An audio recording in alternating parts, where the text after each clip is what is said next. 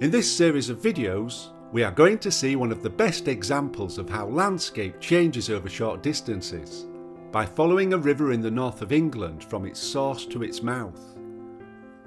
In its journey of roughly 210 kilometres to the North Sea, we will see some superb pieces of physical geography, common to many river basins in the UK. We will begin with the source of the River Calder, on the border of Yorkshire and Lancashire, in the Pennine Uplands.